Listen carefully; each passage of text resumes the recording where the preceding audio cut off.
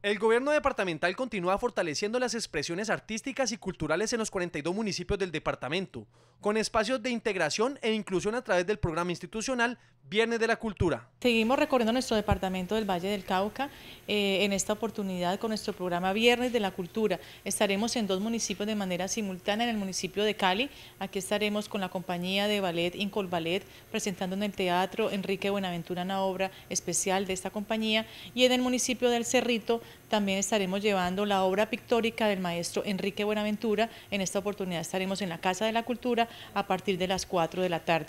El Viernes de la Cultura deleitará a los caleños gracias a la presentación de la compañía artística Incol Ballet con la obra Pasiones y al Teatro Experimental de Calité con la presentación de la obra pictórica del maestro Enrique Buenaventura.